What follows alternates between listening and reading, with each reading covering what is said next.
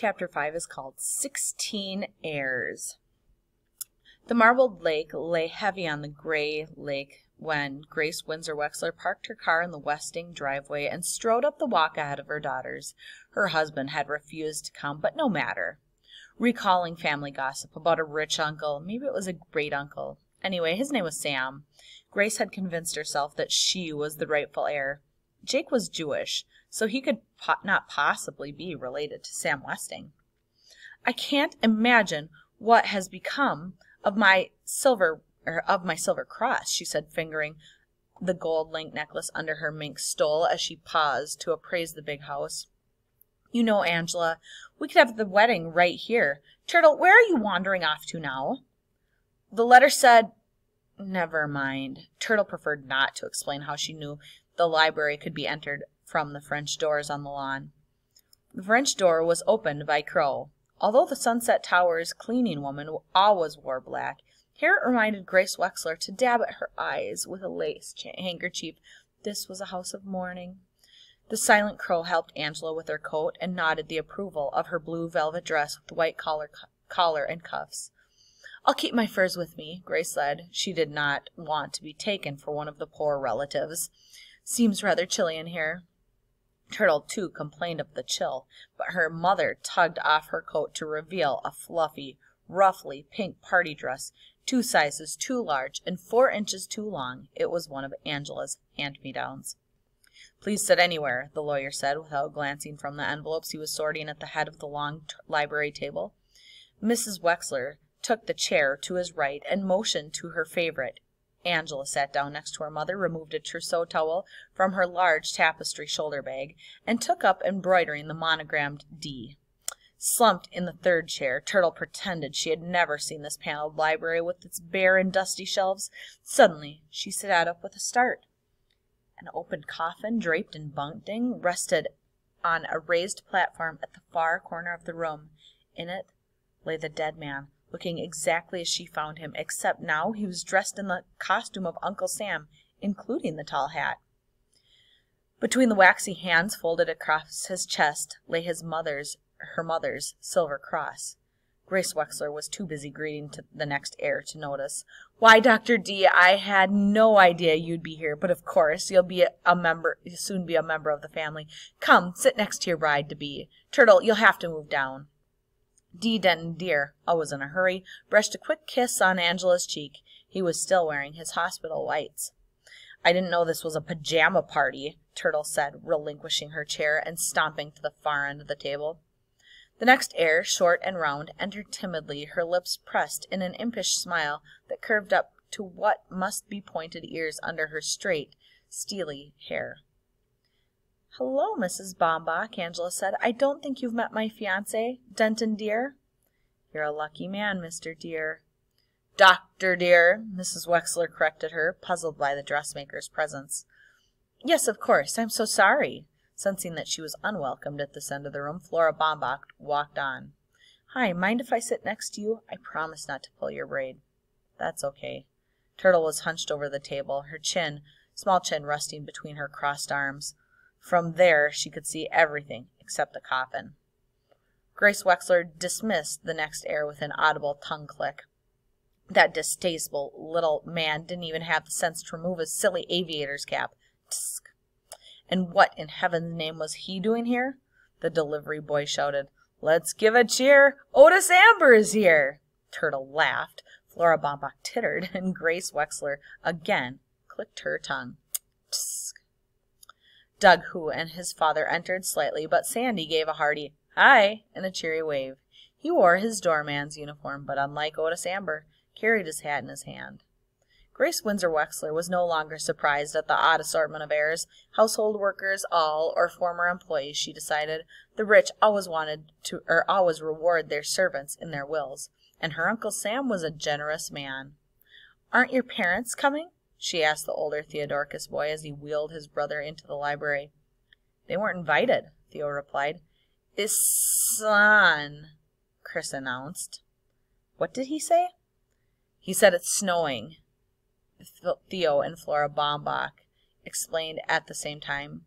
The watched helplessly as the invalid's thin frame was suddenly torn and twisted by convulsions. Only the dressmaker rushed to his side.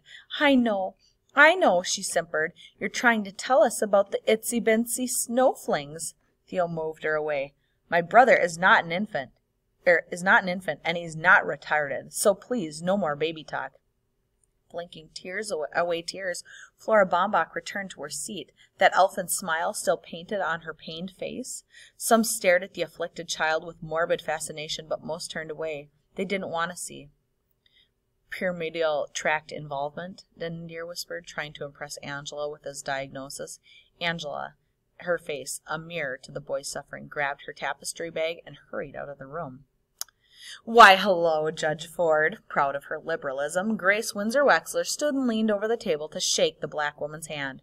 She must be here in some legal capacity, or maybe her mother was a household aide, or maid, but one thing was certain, J.J. Ford could no more be related to Samuel W. Westing than Mr. Hoo.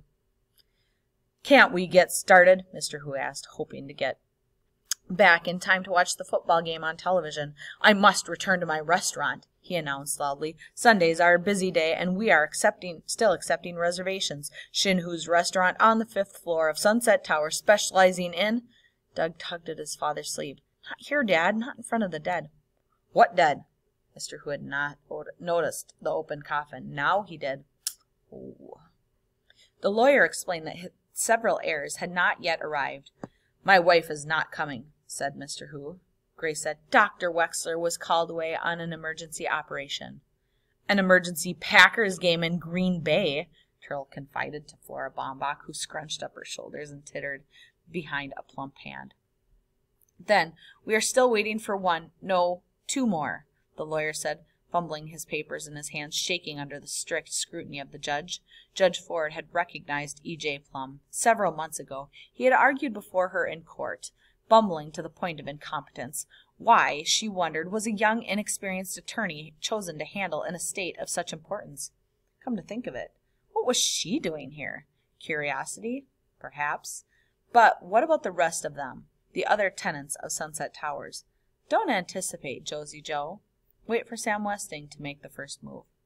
Light footsteps were heard in the hall. It was only Angela, who blushed and, hugging her tapestry bag close to her body, returned to her seat. The heirs waited.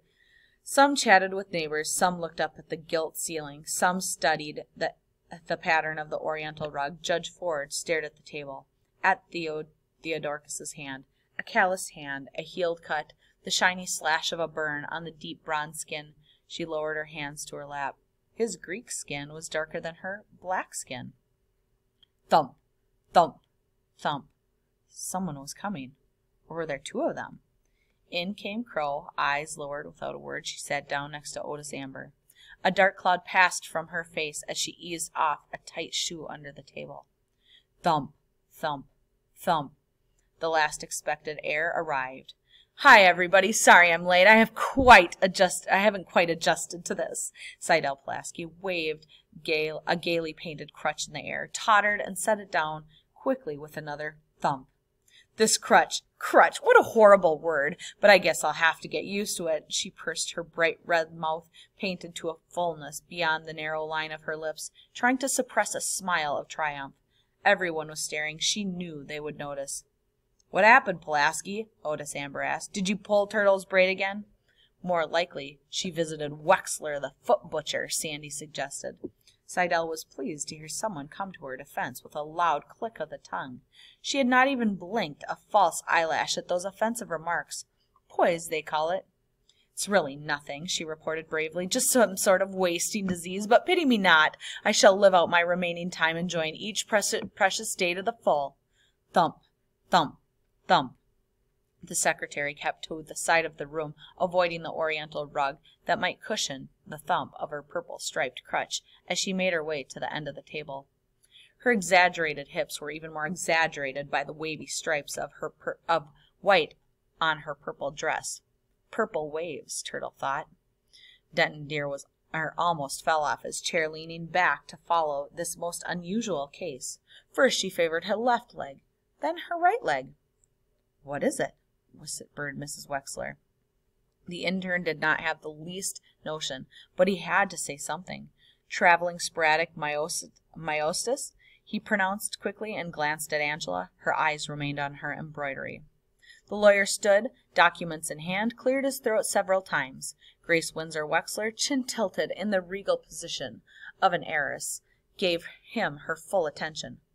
One minute, please. Sydelle Pulaski propped her purple and white crutch against the table, then removed a shorthand pad and pencil from her handbag. Thank you for waiting. You may begin. And chapter six is The Westing Will.